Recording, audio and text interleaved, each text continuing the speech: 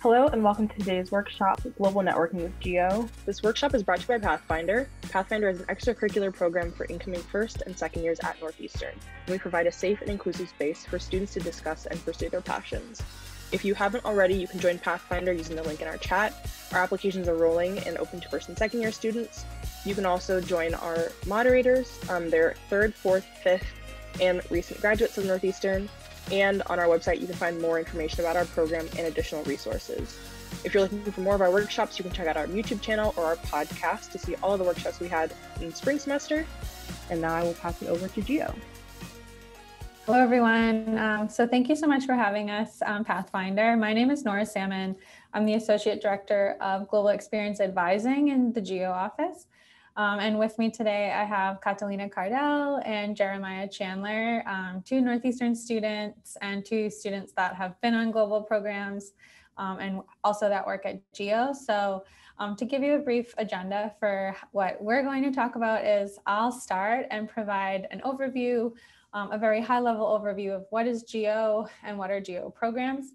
And then we'll do a Q&A between the three of us so that you can really hear the student experience and um, get a more personal sense of like what a student's time is like on a particular program and then when they return from a program to um, Northeastern. Um, so the Global Experience Office or GEO as we um, refer to it, I wanted to kind of give insight from like our office perspective and then um, how we talk to students. So in the office, beyond what you might think of like study abroad exists, a big piece is that um, is kind of the theme that um, we heard at the beginning about networking. So a big piece of GEO is developing partnerships with our global network, so international universities abroad, international organizations, anywhere all over the globe.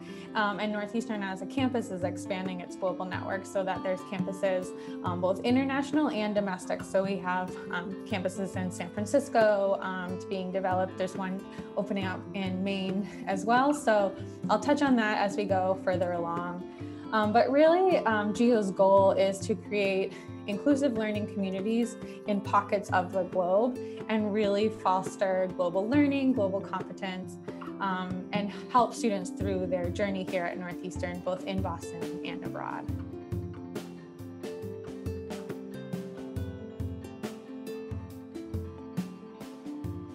So when we're talking to students though, it's why do you want to do this? Why participate in a global experience? I think everybody has a unique personal reason and you'll hear um, Jeremiah and Kati's personal experience. Um, but in terms of what makes it unique to Northeastern, there's many reasons and we'll share a lot more later, but um, Northeastern is unique is that in that when you go abroad, you do earn Northeastern credit. So it really is taking your time at Northeastern and expanding it wherever you are around the globe, continuing and advancing your degree um, there's a plethora of international networking opportunities while you're abroad. You meet people from all over the world, both Northeastern students, international students, international faculty. Um, and it truly is a way to really like gain a different form of cultural understanding and competencies. Um, in some cases, you learn and practice new languages. So there's just like a lot of elements that um, we truly believe that an experience abroad, in addition to your experience here in Boston, is a way to just make a full comprehensive degree. Um, so a quick kind of overview, this is a snapshot of the variety of programs that we have to offer. So Northeastern is um, really interested in designing programs that can fit anyone's personal, professional, and academic background. Um, so we have programs that vary in length anywhere from one week to an entire year. And then we have global degree programs, which would be all four years. Um, there's programs suited to pretty much any major. So I think, it, you know, there's definitely a misconception that like, depending on your major, if you have a pretty um, unique like STEM major, let's say, or computer science, that you can't go abroad, but um, there truly is a program for every major. And in terms of study abroad, what's nice about Northeastern is it's not just going and studying in another classroom. There's all different forms. So whether that be like a full experience where you're you are never physically in a classroom, maybe you're doing an international internship, you're on a dialogue, which I'll talk about. Um, and it could be with our faculty or um, with international faculty. So Dialogue of Civilizations, most commonly referred to as DOCs, um, and that's what we refer to it, as well as our students, they're faculty-led programs. So it's Northeastern faculty leading students. They're only offered during summer one and summer two. Um, outside of the current year, we offer um, about 70 programs that go to um, 136 or so countries, and we typically send about 1,400 students abroad every summer. Um, on a program, there's about 15 to 30 students. Students take two courses, earning eight Northeastern credits. Um, and a, a, goal of it too is you fulfill your NUpath. So um, both Kati and Jeremiah have been on a dialogue, and I think hearing kind of their experience um, will be key. Um, in terms of study abroad, um, the difference between study abroad and a dialogue for us, which both are forms of study abroad, is that on a study abroad program, you take classes with international faculty at a foreign institution um, or a Northeastern Network campus abroad. Um, these are offered during fall, spring, summer one, and summer two, or there's an academic year option. So it's really kind of figuring out what kind of what do you want to study that enhances what you're studying here on campus. Um, you learn from international faculty, like I said, so it could be a totally different perspective than what you're learning in Boston. Um, and it really is a unique way to connect with um, different peers too, because you're learning alongside peers that you wouldn't necessarily go to school with here at Northeastern. So semester in is a form of taking courses in um, one of our network campuses. So this is a growing piece of GEO and it's an exciting piece as we move into 2022, um, more to come but it's kind of a unique way to take what you're learning in Boston and put it in a totally different context. Um, you would learn from a combination of Northeastern faculty and then faculty based in that region. So we, two examples are the New College of Humanities in London. We have a semester in program and then we have one in San Francisco. So we have Jeremiah with us and he has been on NCH, the Data Ethics and Culture program. So he'll speak to that as well. Global Quest for any student that's a first year student. Um, this is a unique first year program. So it's a year long program in a sense that you enter Northeastern and live in a living learning community. So you live as a cohort. Um, you would involve yourself in activities, extracurricular and curricular.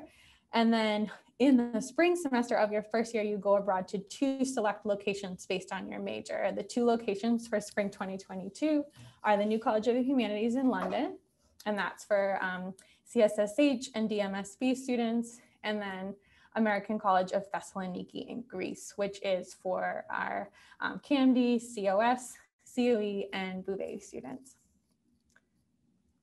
Global Co-op, um, and Kati will be speaking about her experience. Um, so Global Co-op, I know anyone at Northeastern knows the term co-op as your internship experience while you're here um, conducting your degree, but it's taking that into a global context. So working internationally. Um, there's teams within each college and GEO supports the colleges with Global Co-op in terms of visa resources and orientations. So Global Co-op can be a paid experience or unpaid. There's the Presidential Global Scholarship that really helps make that accessible. So it's a $6,000 scholarship. And in terms of how to get this started, it's really speaking to a global co-op coordinator in your college. And I will turn to Kati in a bit to explain how she got started on her co-op. Okay, so how does this work financially if that's crossing anyone's minds? Like, I want to go abroad, but how does it even work um, in terms of the cost? So when you study abroad, whether it be a dialogue, semester in, or um, a semester abroad at one of our partner universities, you are paying Northeastern tuition the same way as if you were here taking classes on campus. A benefit of this is that if you use financial aid, if you're accessing scholarships, or however you fund your time um, to you know, pay for your academics, that funding is the same way um, you can utilize that abroad. So it's um, accessing your financial aid can be used to, like while you're on a study abroad program we always talk to students about the cost of living of the location. Is it an expensive destination? Is it a more affordable destination? And how does that work with budgeting? And uh, with that comes scholarships. So GEO is really dedicated to continuing each semester. We'll have new scholarships, new grants.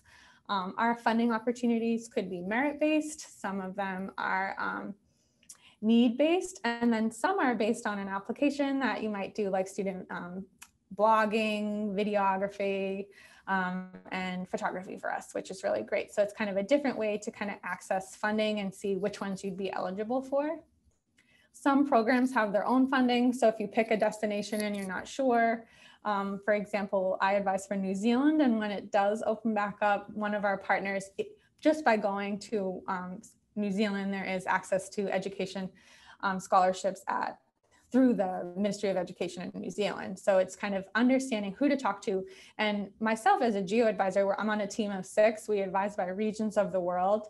And we want you to ask, like, I want to go to Italy, let's say, like, what is the scholarship for this program in Italy? I'm this major. Maybe there's a scholarship based on your major. So, um, part of what we do in our advising is really figure out the niche ways for you to access funding for that program. In addition, um, we have a first time travelers grant. If you've never been abroad, there's additional funding to help you take that big leap. And we work with um, the President Aoun Scholarship, which connects with our cultural centers, and students are nominated through their access to student org.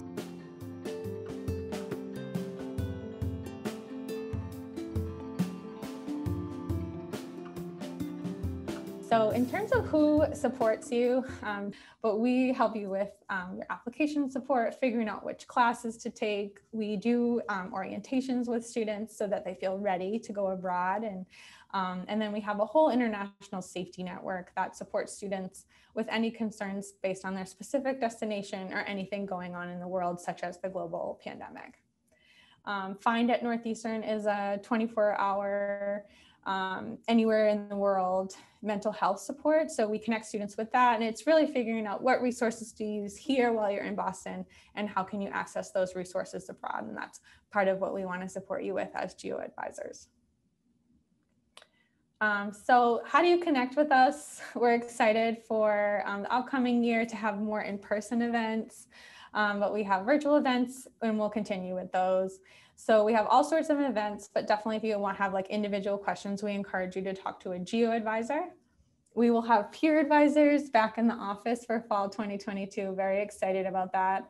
Um, Kati is a peer advisor and she's been a peer advisor with us for the past I think three years, maybe. I like lose track of time this past year, but um, she's an excellent support. And it's just really a great way to, you know, talk to a student, hear about their experience and have them connect you even with other students.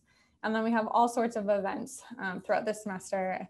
Um, they're up on our website and we're happy to connect you with you on them. Um, real quick, in terms of um, GEO's efforts in making sure that students feel comfortable going abroad, we do offer a series of events called My Global Identity Series. Um, so these are developed in collaboration with our student centers on campus. So we work, for example, with the LGBTQA Center in um, and this can be for a student that's like maybe you haven't applied abroad and you want to talk to someone because you're thinking of going abroad or maybe you've returned from coming up from being abroad and you wanted to kind of debrief that. So we have these are all recorded at this point and then we'll have live sessions returning. But it's really a way um, to create a safe space to talk about things that are very specific to your personal identity or identities and figure out like how will this manifest potentially while i'm abroad and what things might come up um, so we've partnered with the DRC, um, the Social Justice Resource Center, um, the Center for Spirituality and Dialogue. So, you know, we've had students that are practicing a certain faith and they're going to a location where that's not the dominant faith and they're nervous about that or they're trying to figure out just like, what do I do? Like, how does this work? Um, and these sessions are really key for that. Additionally, on our website, we have a student blog, um, student voice blog, sorry, that's what it's called. But it's um, you can read through, but you can actually search by category. So if you're like Italy, I don't know, being being a female in Italy, let's say, um, and that's how you identify. There's you can it will pull up blogs based on that topic, and you can kind of just read through the student's personal experience and watch their videos. Um, and I think that really helps students kind of feel like I can do this maybe, or like I could talk to this student and they would help me with some of the things that I want to talk through. Okay, I'm going to pause and turn it over to Kati to introduce herself. My name is Catalina, and I also go by Kati, either one. Um, so I'm a recent graduate, actually. Um, I studied mathematics with a minor in computational data analytics. And like Nora said, I work as a peer advisor um, for GEO, and I'm working over the summer as well as a peer advisor. Um, so just a little bit like about my background and my experience um, with the global experience at Northeastern. Um, I always knew that I wanted to make travel a part of my education at Northeastern. Um, I've always traveled a lot, so I knew I wanted to incorporate that. Um, so the first um, experience I had was on a dialogue after my first year, which I think is a really great way to kind of get started um, with the global experience at Northeastern, just because you go with um, a Northeastern faculty and with other Northeastern students. And especially after your first year, it's a great way to meet new people. Um, I know a lot of my friends went after their first year as well. And I also knew that I wanted to pursue a minor in Spanish at the beginning. So it was a great way for me to kind of complete those requirements um, I did the Spanish language and culture dialogue in Peru.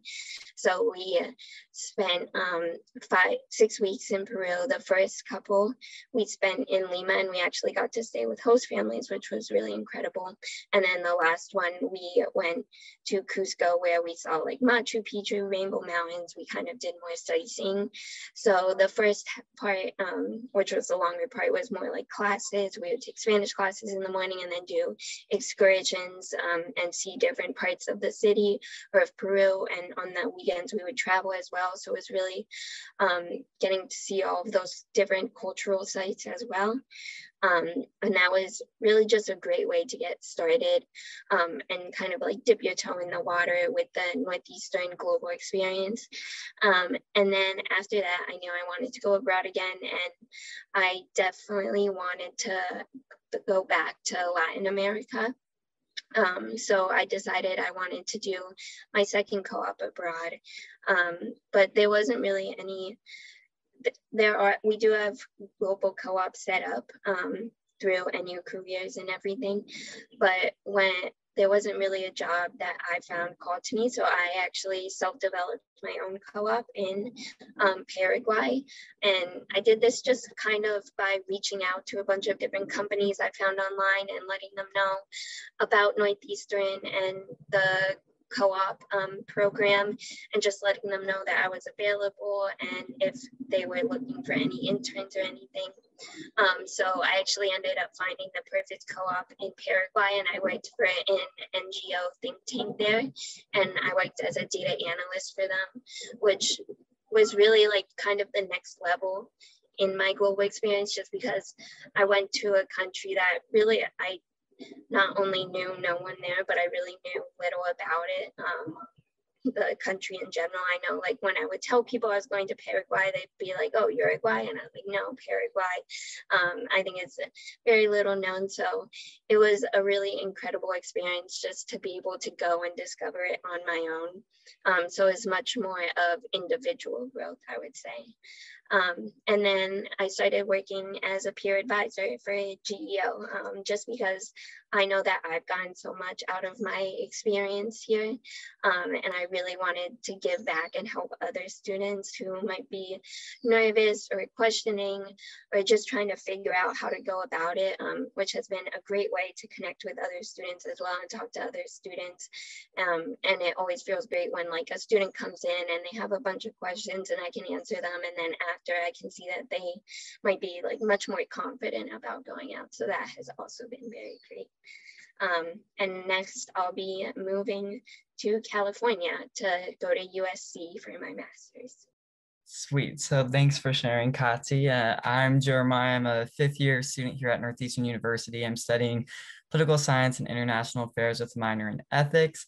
Uh, and I'm actually a transfer student here at Northeastern. I joined after my second year and I transferred to Northeastern primarily because I knew that I wanted to study abroad and I knew that Northeastern had a ton of opportunities through their international study abroad office. So uh, after my first semester on campus, I actually studied abroad, like uh, Nora said, in London at our partner institution, the New College of the Humanities, and that was really an incredible, uh, incredible experience to have abroad, especially your first experience abroad. How she went on a dialogue of civilization, and there was Northeastern programming, there were faculty, and um, you know, with the semester in programs and dialogue of civilization classes, there's lots of Northeastern programming and uh, staff that's there to help you throughout that process. So for a first study abroad experience, I definitely recommend one of those. And that was uh, a really, really great experience and it helped me kind of figure out what I wanted out of my degree. And I added an ethics minor after it. So, uh, really, really awesome experience. And after I was in London, I studied abroad on a dialogue of civilization to Rome, Italy. And that was the uh, Discovering the Eternal City, uh, an incredible dialogue. I'm super biased, but it's definitely my favorite dialogue. So you guys should totally look into it. Uh, incredible faculty, uh, Daniel Faber, who teaches that. Um, and that was really incredible. And the nice thing is that there is a wide variety of different types of courses you can uh, take during a dialogue.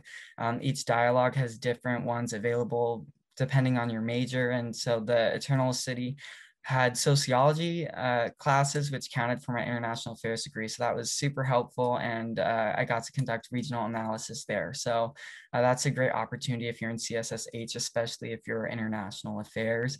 Um, after that, I uh, left from being abroad and then went back abroad after my co-op um, and studied in Paris. Uh, this was a traditional study abroad, so it was very different from the Dialogue of Civilization and from the Data Ethics and Culture program in London, just because when you're doing a traditional study abroad, uh, it's really your responsibility to make sure that you're signing up for classes, go and find resources and help, reach out to peer advisors like Kati and reach out to um, faculty and staff at GEO to help you make sure that you're signing up for classes that count for your degree. But I studied abroad in uh, Paris, and that was really, really incredible. It got cut short early because of the pandemic, so that was a wild experience. But I must say, Geo did really help me get home safely, so I do appreciate that. But um, I studied abroad in Paris after meeting a couple of attorneys at my co-op who um, referred me to a couple of different schools in Paris, and some of them had studied at Sciences Po for their master's degree before getting their JD. So they all recommended. And uh, when I went there, I actually got to meet with a couple of faculty members that they recommended. So those were all people that I met through Northeastern and um, got to see realized when actually studying abroad. So, and actually most recently, I just started a remote dialogue of civilization yesterday um, with Japan 20th century. So I'm hooked on Geo, I guess.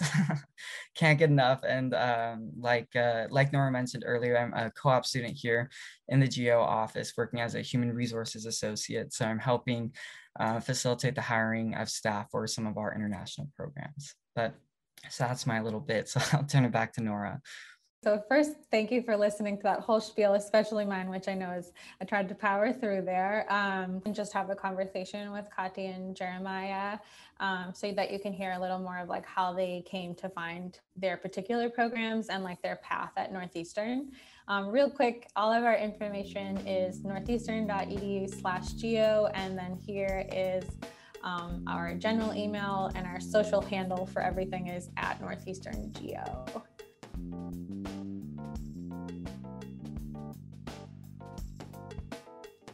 All right, so um, to get started, I guess Kati and Jeremiah, could you share um, who do you suggest speaking to first if you're considering going abroad? And um, if you can share a little more about like what specific steps you took to make your study abroad experience happen? Like who did you talk to? Your family, your friends, your academic advisor, etc.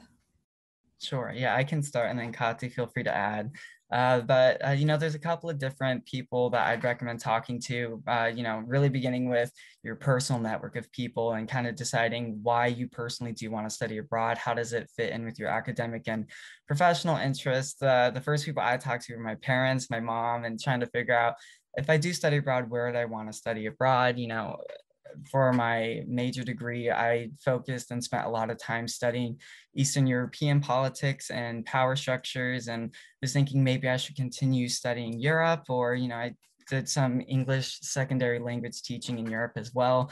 I was thinking maybe I should diversify my studies. Maybe I should study somewhere else. And, um, you know, the first people I talked to were my parents and my mom. And my mom said, you know, you've been studying French for since middle school and you've always talked about wanting to go to France. Maybe you should go to France. So that really helped me out. and she reminded me, yeah, no, you're right. I do want to study in France. Um, so, you know, I would definitely recommend going to your personal network first and kind of checking with your friends to um, just to remind yourself what are your personal interests and your professional and academic interests. And after doing that, um, I would definitely recommend talking to your academic advisor. Um, that's really just to make sure that you're taking all the classes that are going to count towards your degree, ones that fit into your degree audit, um, and making sure that the classes at the partner institution you're studying abroad at will count for your major or NU path requirements. Um, and after doing that or before doing that, either way, um, definitely talk to the GEO peer advisors, uh, people like Kati and other people available to you in the GEO office. But Kati might have better insight on who exactly you should talk to there. So I'll toss it over to her. Yeah, definitely. Um, I think now is a really good plug for the GEO peer advisors. Um, I am biased, but they are honestly like a great help, um, especially if you just like are just considering going abroad. That's really a great first step, just because then you can um, normally during normal times when the offices are open, you can just walk in at any point and there's always a peer advisor there that you can talk to. Um, and just like hearing from them even if you do have an idea of where you want to go, then they can kind of walk you through the process of like figuring out, say, if you want to do a dialogue, they're walking you through the different programs. And then, say, if you want to do a study abroad, a lot of times it's really hard to figure out um, on your own, like the courses to take or the course equivalencies. And we can kind of like walk you through that and show you. Um, but like Jeremiah said, the academic advisors are also a really big one because you definitely need to figure out that the courses you're taking abroad um, that they'll be okay in your academic plan. Um, and then after that, like after the peer advisors, once you kind of have more of an idea of where you want to go specifically, um, the GEO advisors are a really great tool and they each have like a specific region that they're really experts in. So you'll have a specific GEO advisor to talk to. Um, and then also just like Jeremiah said, just talking to like your network. Um, I know for me, I talked to different people who had um, gone abroad to like Latin America um, just because I knew that's where I wanted to go, but I wanted to check on their experience um, just to see what it was like. And it, that really convinced me that that's where I wanted to go. So, yeah. If I could just add one more quick thing, um, you can also definitely tap into your professional network of people. You know, if you have um, contacts that you're still in touch with from a previous co-op, you know, it doesn't hurt to reach out to them and say, hey, you know, I'm studying abroad and considering these locations.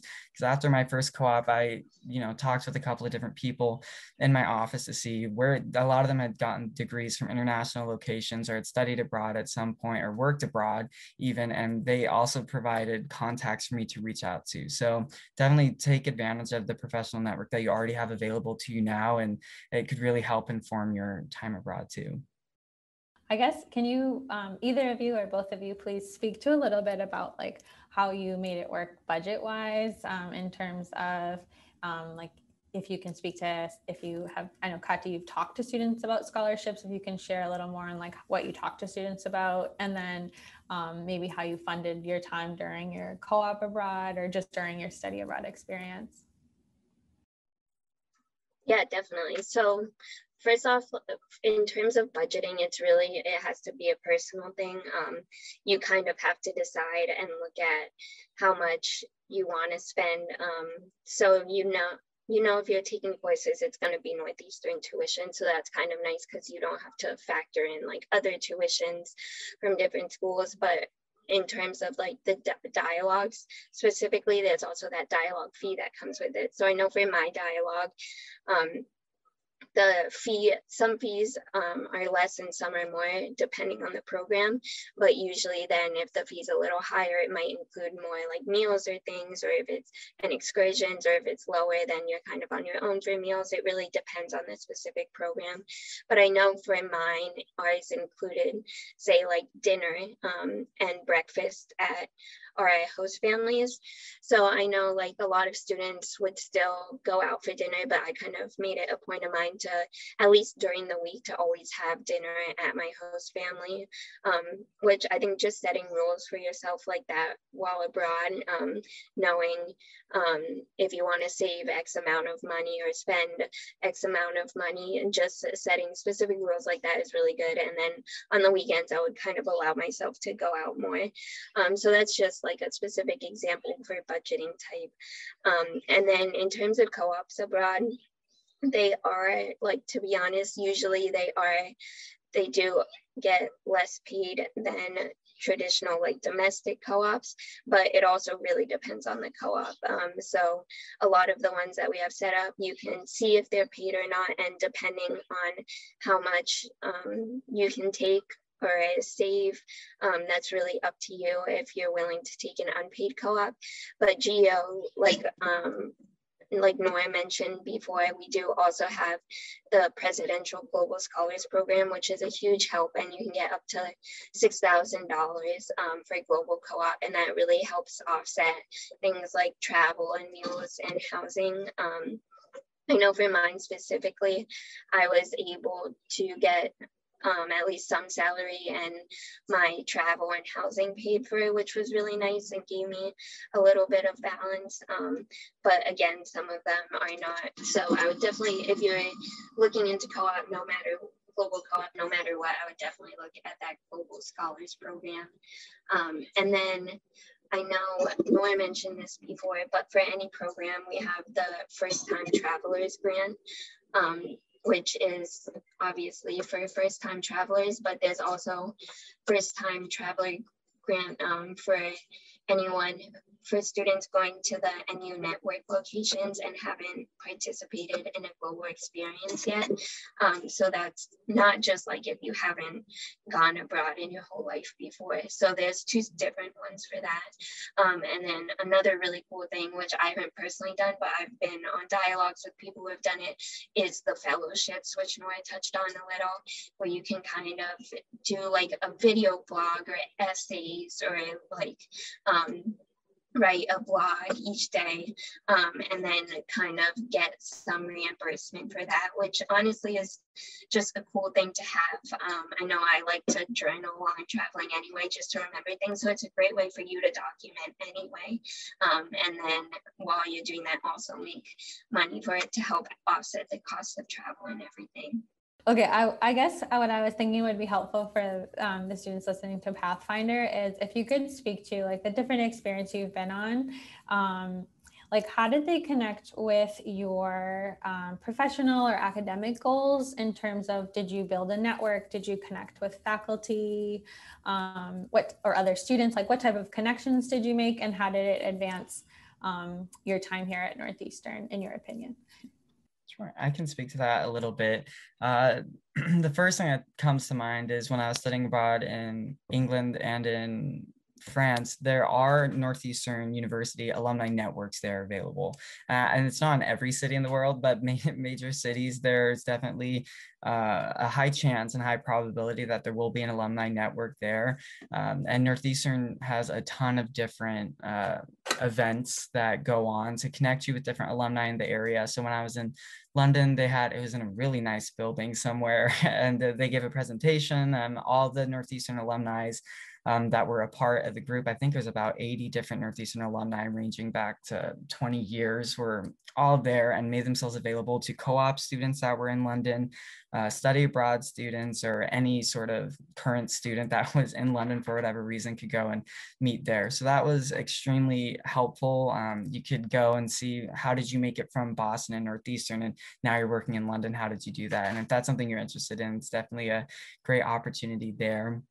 Um, uh, other ways that you can build your network, uh, we, Kati and I kind of mentioned how uh, the Dialogue of Civilization is an excellent opportunity to make good relationships with other Northeastern students, but also Northeastern faculty as well. They're faculty-led trips and you're with that same uh, faculty member for you know a month up to two months even. Um, and that really is a great way to foster a good relationship with them. Uh, the daniel faber on my dialogue of civilization is an excellent faculty member and he actually wrote letters of recommendation for me so that's super helpful. And so those are the types of connections you can make on the different um, study abroad uh, opportunities that way as well. Uh, Kati, did you have anything to add? Um, yeah just in terms of like networking while abroad, even with other students on dialogues. Um, like we said, it's with other Northeastern students, but the really cool thing about dialogues, it's usually like a big mix of different majors and everything. Cause a lot of like me personally, I use the dialogue for my minor, but also for NUpath requirements. So it's kind of a way to get out of like your Northeastern bubble, which you can kind of like get more stuck in with like people in your major or like your friends. Um, so it's a really great way to meet new people. So I had people from all different types of majors and like say um, the I had some electives left and I knew I wanted to take a design class, but being a math major, I knew nothing about the CAMD or design department. And but I knew a girl on my dialogue who I kept in touch with um, was a design major, so I could kind of ask her like her opinions um, on different electives and different professors to take. So that's just like an example of how these connections can really help you in your education. And then, like Jeremiah said, he got a recommendation from his faculty um, on the dialogue and i also got a recommendation it's really a great way to make like that connection that you might not make in regular classes with um, a professor. And then in terms of global co-op, that's a great way to make professional connections from all over. Um, I know when I was applying to graduate schools, I had my boss from Paraguay um, write me a letter and that I think that really just gives a different spin and like diversifies your application for a lot of things, having like that international aspect to it. Um, so I would say that's a really great way to network as well. Um, and then can you speak to a little bit, did your, um, do you feel like after you went abroad on any of the many programs you all went abroad on, you felt like it helped you um, in speaking in interviews when you're looking for a co-op? Kati, you just touched upon it, so maybe Jeremiah, I know with NCH you met with like Northeastern faculty and um, local London faculty. Did you feel like that helped you at like when you returned to campus and trying to figure out with your co-ops? Yeah, absolutely. Uh, you know, London maybe isn't that different from the US when compared to other countries, but I mean, especially, you know, studying abroad with faculty in Paris, they have CVs, they don't have resumes, the interview process is entirely different. And, you know, I didn't go for any interviews, but I met with faculty members and they had different workshops that were available there. And that's the nice thing, depending on the institution you're studying abroad at, you're usually able to take advantage of the clubs and organizations and resources available there. And so when I was abroad in Paris, I definitely felt like it helped me, even just being able to network internationally. Uh, it, it, definitely feels a little different from just trying to connect with other people, you know, from your university or from your city or from your state. When you go abroad, it can feel a little different. And uh, when I was in London, I definitely met, uh, yeah, it was a mixture of Northeastern faculty and NCH faculty. And so having, taking advantage of that connection between the two is um, extraordinarily helpful. So. Yeah, thank you both. I think to wrap it up, I just wanted to ask, and um, this is kind of a cliche question that I think comes with study abroad, but um, for all intensive purposes, I do love the cliche. But uh, if you could share a little bit on, because um, I both, I know both of you have shared this with me, is like once you returned from studying abroad, do you feel that it changed you in terms of like how you approached your studies or just you personally and how like what next steps you're going to take in either like your academic career or your professional career? Yeah, definitely. I can start. Um, it is like the cliche, like study abroad changed me, oh, going abroad and everything, but it really is true. Like just I would say, especially with things like the traditional study abroad or the global co op, really going on your own and being in a new place um, and kind of figuring everything out for yourself in a new foreign place where you don't have that um, initial network set up is really just an incredible experience. And even like talking about interviews before it really gives you more confidence in like everything you do. So going into interviews going into anything where it's like a new setting like a new job or anything it really helps you. Um, because like if you can go to a totally different country maybe you don't even speak the language then like really like what's an interview? So that definitely helped me. Um, and then in terms of figuring out like future career goals um, that's part of the reason I decided I wanted to go to graduate school just because of working in Paraguay and seeing what I could do there with like the limited education that I had in like I know like some Python um, and seeing like what a difference that made. Um, I knew that I wanted to further those skills to be able to return in my future career. So it really kind of gave me an outlook onto my future career goals and like I want to be able to return with even more experience and even more skills, um, which I wasn't really sure what I wanted to do after. So really like that was life changing to be able to figure that out. Um, I don't know if you have your own experience, Jeremiah. Yeah, I would definitely say Kati hit it on the head where after you study abroad, it really feels like you can conquer a lot more. And I had never taken a data science class before, but that first program I took was data ethics and culture. And I had to take data science 2000 and data science 2001, which was terrifying. But after the end of the semester, I finished it with an A, which I never thought was possible. And now I felt like I could conquer anything. But I did not add a data science minor, I must admit. But I was happy to see I could do it. But it definitely, you know, like she mentioned, you know, you go and live abroad if it's a lot of people's first time abroad, or even just, you know, traveling without your family, traveling without friends, going to a new country, it really does encourage you to get out of your comfort zone and take advantage of the networking opportunities available to you. That might sound a little bit cliche, but you know, going abroad to a new country and the only point you know is uh, the Northeastern Alumni Network. Go to the Northeastern Alumni Network and meet them, and you'll meet people through that, and you'll you'll really develop important, crucial um, networking skills that will serve you in any environment, professional, academic, uh, personal, even. Uh, it really helps you just be able to carry yourself well. And definitely one thing that I would say uh, that studying abroad has really really changed is that now i have really strong connections in lots of different places in the world looking to graduating and uh, you know what city am i going to end up in where's the job? I have really decent connections and strong connections and where i studied abroad and where i co-opt. And so it, it's somewhat comforting to know that there's probably uh, two to three people that I know in a lot of the places I'm considering working afterwards. And so that's something super helpful. Um, even if you want to just travel abroad, you have, mm, you'll find couches to crash on. if you study abroad, you'll meet people. Um, and honestly, that environment when you're abroad and meeting other students who are abroad, it is a very bonding experience. And uh, you do make a lot of really strong connections out of there. And I'm in touch with people from every single international study abroad experience I had through GEO and GEO has a couple of different events where uh, alumni from a program will meet and you all get to reconvene a month after returning to campus. And so that really helps solidify the friendships that you made abroad and, and professional networking relationships you've made abroad, all the things. But yes, uh, I would say that's one of the um, best ways that it changed me uh, moving forward.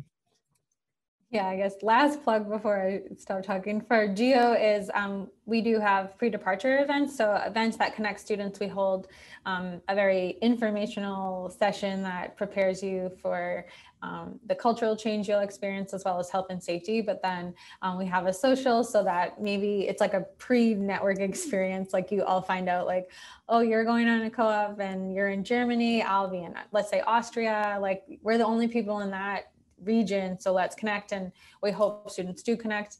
And then we do it on the reverse. We hold reentry events. Um, and the idea is that um, when you come back, a lot of times you just want to like debrief your experience and reflect on it. And then um, it's really cool to do a comparison too. So, you know, it might be something like Kati just got back from Paraguay and Jeremiah just got back from um, the New College of Humanities in London. So two super different experiences, but then you're all in the same room and you all have activities where you have to debrief. And oftentimes we have a keynote speaker at that, um, which is just another way to kind of like take that um, experience to another level. So um, I hope this was helpful. I'm really grateful that Jeremiah and Kati shared. And like I said, you can contact us at any point. We'd love to hear from any student interested in a global opportunity. Thank you so much for joining us, all of you. Um, it's so great to work with Geo, and I really hope that in the coming months and years that we're able to see more of those programs um, and that our Pathfinder students are able to take advantage of those as they pursue their Northeastern career. So um, yeah, thank you so much for joining us. Thank you. Thank you. Thank you for having us.